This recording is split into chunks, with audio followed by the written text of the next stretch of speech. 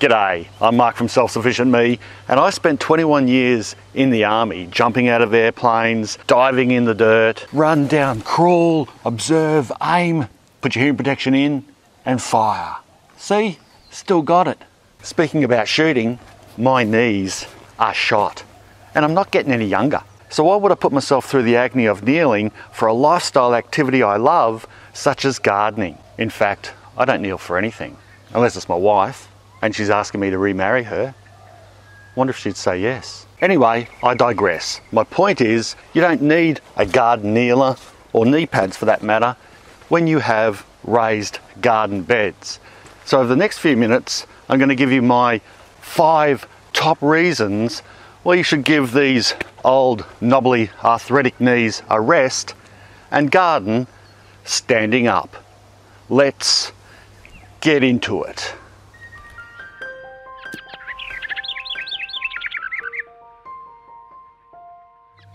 Number one, let's start with the obvious less kneeling. Kneeling in front of a raised bed garden like this is a ridiculous thing to do because not only does it hurt your knees, but you can't really see what you're doing. I'm just being silly. Ugh.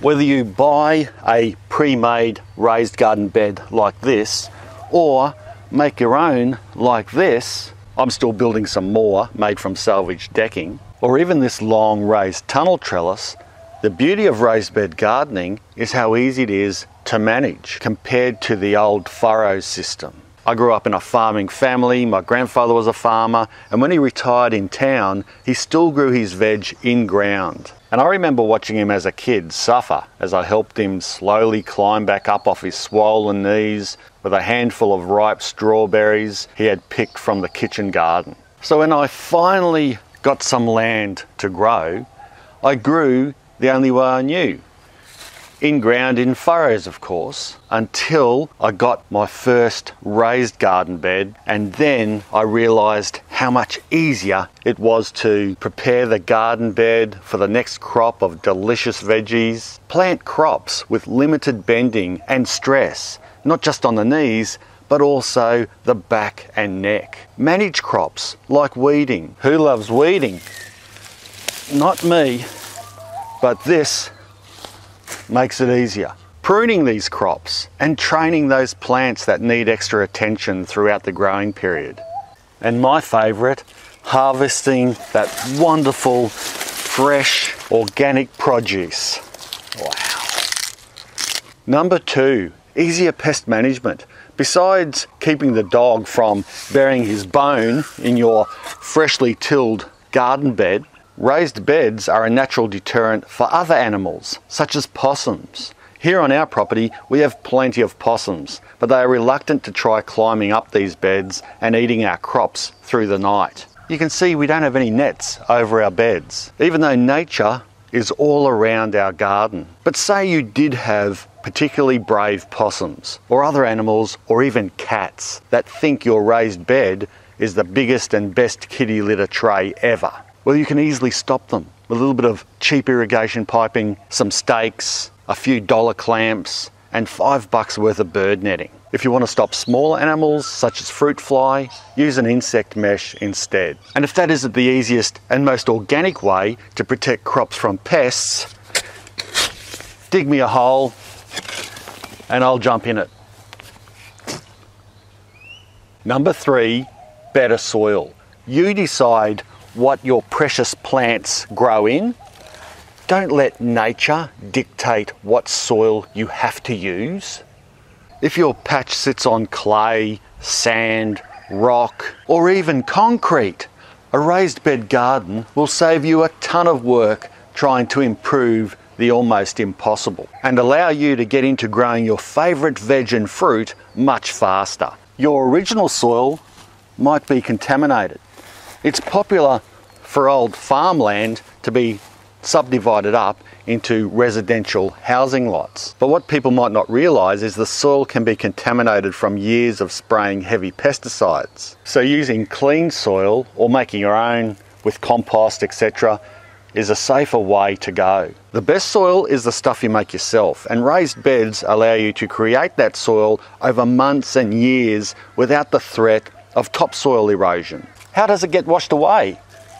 Every bit of love you put into this bed stays there for your plants to use and grow.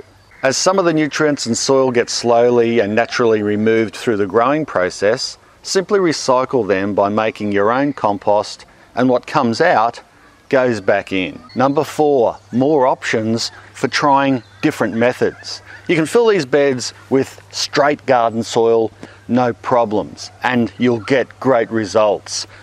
But personally, I like using the Hugelkultur method of raised bed gardening, whereby the base of the bed is filled with organic waste rather than drainage or just soil. So it encourages an active and living environment for worms, other animals, and microbes that in turn help to create a symbiotic relationship with my plants to make them grow better and healthier. Also, the bed has better moisture holding qualities, and overall, using garden waste like this is more environmentally friendly than, say, chucking it in your trailer and transporting it to landfill. Lasagna beds. I could go some lasagna right now, actually. Only one more day left of my 21 days eating only what we can grow experiment. That video is coming out next Saturday. But anyway, yeah, lasagna beds where you layer and combine compost, soil, mulch, rather than filling with just soil. And this method is repeated as it breaks down to create a rich medium all while you are still growing food. Raised aquaponic or hydroponic beds, this isn't something I've dabbled in, but I do find it fascinating. And I want to mention it because it can be an effective way to grow veg and some fruit like strawberries. I still class it as raised bed gardening because often they are raised up for ease of use. So it has all the advantages of raised bed gardening, it just doesn't have the soil. Self-watering or wicking beds. Now this example is low to the ground, but you might want to raise this up on a stand and make it a essentially raised bed wicking bed. Wicking beds use less water, thus they save water, and when they're raised up, they have the convenience of a high-sided raised garden bed. For those who are wondering, the higher you go with these types of wicking beds, the harder it is for the water to wick upwards. So placing a wicking system in the base of a raised bed such as this wouldn't be very effective, unless maybe if you put a false base in the bottom of this to raise it up. Therefore, it would be easier to place this type of wicking bed on a stand as an example. The reason I have this one here, and I did have a net over it too, because the possums could easily jump in and eat the crops. But I was testing it for Birdie's garden beds, and I wanted to set it up as designed. But in the future, I'm thinking about raising this up and putting it on some bricks, and I think that would be more effective and I'd get a lot more use out of it. Number five is do more gardening. And what I mean by that is the easier it is to garden,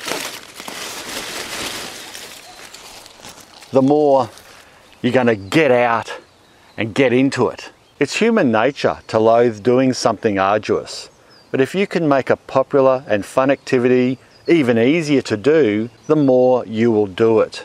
And that's precisely what happened to me. And it'll happen to you too if you transfer from in-ground furrows gardening to raised bed gardening instead. Sure, the outlay and effort to set up a raised bed garden initially might be more than the standard old in-ground furrows method, but it will pay you back in tons of food because you'll want to be more active in the garden. Get more done in a day with less knee ache, back pain and neck strain. A more productive you means a more productive garden.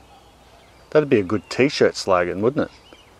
Anyway, I hope you enjoyed this video. If you did, make sure you give it a big, knobbly, arthritic thumbs up. And also subscribe to the channel if you haven't already. And share the video around because that helps heaps.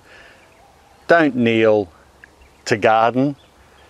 Be like me and be a stand-up gardener instead. Thanks a lot for watching. Bye for now.